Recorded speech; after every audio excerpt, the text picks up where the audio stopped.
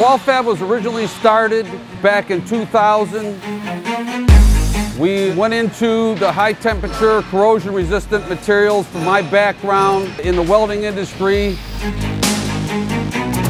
My interest in welding started way back when I was 13 years old. Uh, I wanted a mini bike and my parents wouldn't buy me a mini bike because it was dangerous, they thought. So I said, well then how about buying me a welder? I want a Lincoln welder, a little buzz box, and I'm gonna make one.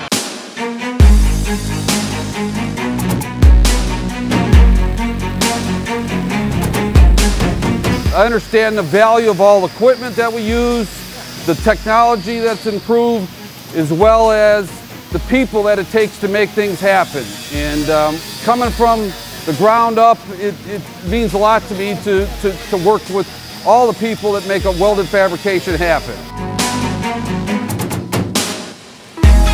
Ever since dealing with Lincoln, uh, quite a bit our machines are of higher quality, um, which has produced better weld time, product getting in and out the door quicker, and uh, just product moving through the shop faster. You know, back in the day when Lincoln Electric and other welding uh, suppliers uh, got into business, you only had a limited amount of equipment you could do, and, and things, the quality varied because of it. Today, with the STT technology, you can control the amount of penetration. The weld quality can be reprogrammed to come back to, to repeat. The programs that are written today for the materials we're doing, we're continually improving and the gases that are combined, you know, the process is totally different than a bare wire that somebody came up with one day to weld with. And that technology means a lot to us to continue to be able to you know, develop our people to understand it and uh, improve our quality and also to compete worldwide today, we have to figure out a way that is efficient to, to do it and, and, and gives us the consistency that we need.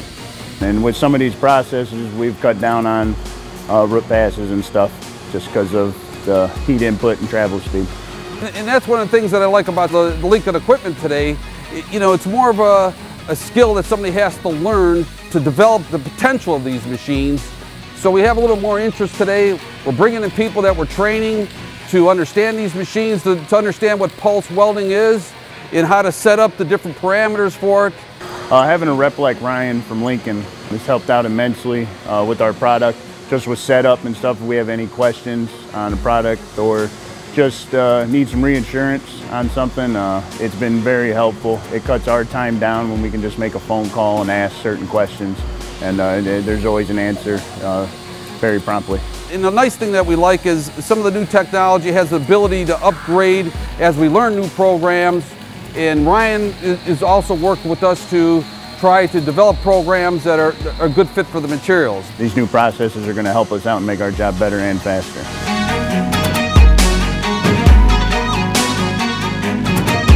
It's definitely a quality issue that we've uh, improved with. We look at the internal part of a, you know, of a welded tube that we would make and uh, you know, in these types of parts here, to see the penetration and the consistent we were getting today is far better than it ever was years ago.